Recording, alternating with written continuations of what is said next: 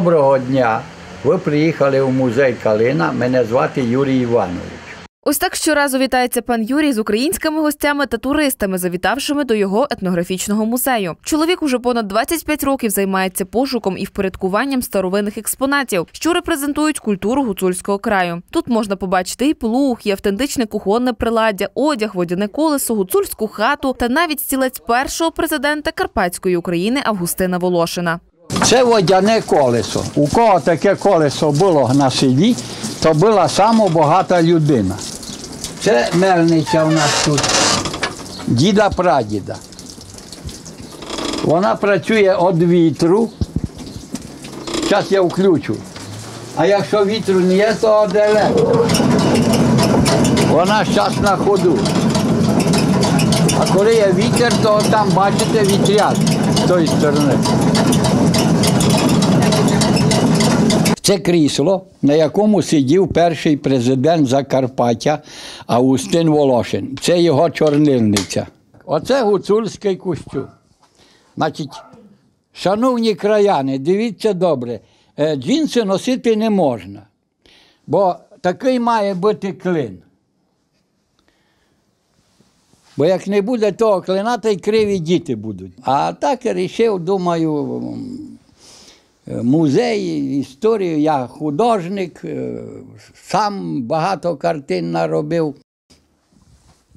Історію знаю свого краю. У мене батько був е, русин, і я русин, і вирішив музей відкрити. Ну і позбирав оце у людей, все викупив, позбирав і оформив. І Дружина Юрія Івановича, пані Марія, теж творча особистість. Всі килими, ковдри, серветки і рушники вдома зшила власноруч. Розповідає, чоловіка підтримує у всьому. Ну, я підтримую, я його підтримую. Вже як зачали музей, так я у всьому його підтримую. Тут знаєте, там у музеї треба все обробляти, щоб муль не їла, щоб черваки не їли. От Назва музею практично співзвучна із назвою населеного пункту, в якому він знаходиться село Калини. За легендою, колись на горі плеші, що височіє у селі, оселились розбійники, які взяли собі за домашню робітницю дівчину неповторної вроди на ім'я Калина. В неї ж закохався ватажок загону Джугар. Молодиця готувала їсти чоловікам, прала, прибирала. Коли ж опришки вирішили покинути село, то надумали стратити калину, аби та нікому не доповіла про ворожі дії розбійників. Так і закопали молодицю на вершині плеші. Саме в честь неї село прозвали Калини. Це її надгробна плита із могили. От. І серед тем каліна, я люблю тебе, калина Джугар. Це е, після цього, як вона її заховали, через 5 років він вернувся і поставив, викарбував цю плиту і поставив її на могилу там. Тепер ця могила знаходиться у музеї пана Юрія. А загиблій дівчині натомість кілька років тому встановили на могилі хрест і відспівали панахиду.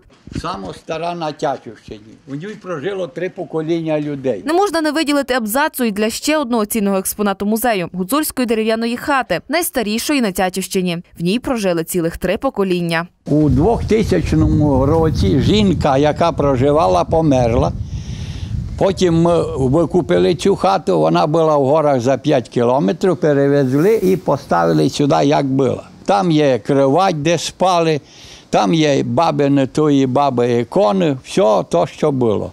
Як ви вже зрозуміли, у нашому сюжеті вмістилася лише невеличка частинка захоплюючої екскурсії. Наяву колекція експонатів надзвичайно широка і різноманітна, тому це неодмінно треба побачити. Охочих це зробити, за словами подружжя, чимало. У нас є е, дві книги вже відгуків, почти вже друга списана. У нас були тут і е, туристи з Америки, з Канади були, з Франції, євреї були, із Іспанії, із Росії, з Індії були, із України кругом. Ну, вони просто дивляться із, із захвату, вони все інтересно, їм все побачити. І спеціально, коли діти приходять, то їм інтересно подивитися, побачити, потім розказують, а ми там бачили, то бачили, то таке бачили. Екскурсія в музеї Калина це й справді цікаво і захоплююче. Повірте на слово, це того вартує. А окрім культурних вражень, приємним бонусом будуть і гастрономічні. Адже після розмов гостине подружжя Куцен почастує вас медом із власної пасіки, запашним ягідним чаєм і може домашнім вином.